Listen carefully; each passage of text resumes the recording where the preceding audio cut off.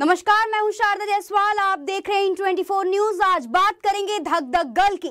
जी हाँ, बॉलीवुड एक्ट्रेस माधुरी दीक्षित की, जिनकी राजनीति में एंट्री को लेकर अटकलें तेज हो गई है।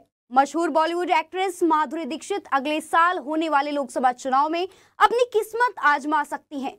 सूत्रों की माने तो माधुरी दीक्षित काफ़ी वक्त से भारतीय जनता पार्टी के नेताओं के साथ संपर्क में हैं। हालाँकि अभी तक उन्होंने साफ़ नहीं किया है कि वो अग, अगर आने वाले चुनाव में लड़ेंगी तो सियासी करियर शुरू करने के लिए किस पार्टी का दामन थामेंगी। इसके पहले पुणे से भी उनके चुनाव लड़ने की अटकलें थी। माधुरी के उत्तर पश्चिम मुंबई सीट से चुनाव लड़ने की संभावना जताई जा रही है। हालाँकि वर्तमान सीट शिवसेना के खाते में है और गजानंद कीर्तिकर जो शिंदे गुट में है वो यहाँ से सांसद हैं। और उनकी स्थिति इस बार ठीक भी नहीं है। ऐसे में सीट पर समझौते के तहत बीजेपी माधुरी दीक्षित को लड़ा सकती है। इस सीट पर इस बार भी संजय निरुपम कांग्रेस से बड़े दावेदार हैं, जो कि कीर्तिकर के खिलाफ मज़बूत विकल्प है। ऐसे में माधुरी के लड़ने से निरुपम की राह मुश्किलें हो सकती है। तो इस विषय पर हमारे साथ बातचीत करने के लिए हमारे साथ जुड़ रहे हमारे पॉलिटिकल एडिटर प्रदीप शर्मा। प्रदीप शर्मा, माधुरी दीक्षित की कुछ तस्वीरें वायरल हो रही है। तमाम नेताओं के साथ उन्होंने मुलाकात की। क्या कुछ जानकारी है आपके पास? बिल्कुल शारदा देखिए, जिस तरह से बता दें कि गणपति उत्सव जब महाराष्ट्र में चल रहा था, उस दौरान जब गृह मंत्री अमित शाह लालबाग के राजा का दर्शन करने आए थे, उस दौरान माधुरी दीक्षित जो है, अमित शाह से मुलाकात की थी, जिसके बाद ये अटकलें लगाई जा रही थी कि माधुरी दीक्षित, बीजेपी के साथ जो है राजनीतिक करियर की शुरुआत कर सकती है। हालाँकि माधुरी दीक्षित ने उस दौरान साफ़ तौर से मना कर दिया था। उन्होंने कहा था अभी राजनीति में जाने का मेरा कोई भी प्रोग्राम या कहे कोई शेड्यूल नहीं बना है। जिस तरीके से कल जब न्यूजीलैंड और भारत का सेमीफाइनल मैच वानखेड़े स्टेडियम में खेला जा रहा था तो माधुरी दीक्षित और महाराष्ट्र के उप मुख्यमंत्री अजीत पवार और मुंबई बीजेपी अध्यक्ष आशीष सेलार और एनसीपी नेता प्रफुल्ल पटेल के साथ उनको स्टेडियम के बालकनी में देखा गया, जिसके बाद से एक बार फिर राजनीतिक गलियारे में एक कयास लगाना शुरू हो गया है कि आने वाला 2024 का जो लोकसभा चुनाव होगा उसमें माधुरी दीक्षित अपनी राजनीतिक करियर की शुरुआत कर सकती हैं, अपनी किस्मत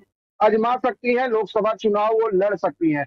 हालाँकि अब तक इस पर कोई आधिकारिक बयान सामने नहीं आया है, लेकिन जिस तरह से वीडियो और फ़ोटो वायरल हो रहे हैं उससे राजनीतिक गलियारे में कयास तेज़ी से लगाए जा रहे हैं कि आने वाला ने भी बयान दिया था उन्होंने कहा था कि आने वाले समय में वो राजनीति में एंट्री ले सकती हैं। वही अब माधुरी दीक्षित क्या लगता है?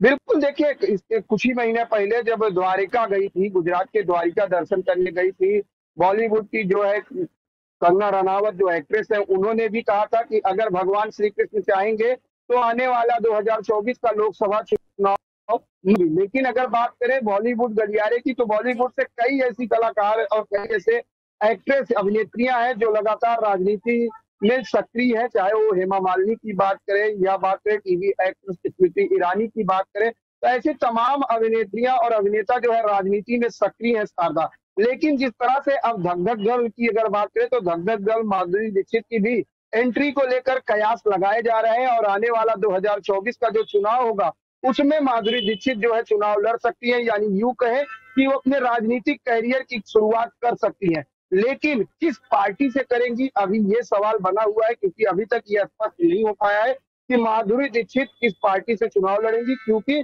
जिस तरीके से पहले बीजेपी नेताओं के संपर्क में थे, खुद गृह मंत्री अमित शाह से उन्होंने मुलाकात की थी, जेपी नड्डा से मुलाकात की थी और कल जिस तरह से एनसीपी यानी जब एनसीपी में बगावत होकर जो दो पार्ट बने जिसमें उप मुख्यमंत्री अजीत पवार के नेतृत्व के नेताओं के साथ जब उन्हें देखा गया तो कहीं ना कहीं ये कयास लगाया जा रहा है कि जल्द ही राजनीतिक गलियारे में कुछ बड़ा फैसला जो है सकता है और माधुरी दीक्षित आने वाले क्यों कहे 2024 में राजनीति में एंट्री कर सकती है।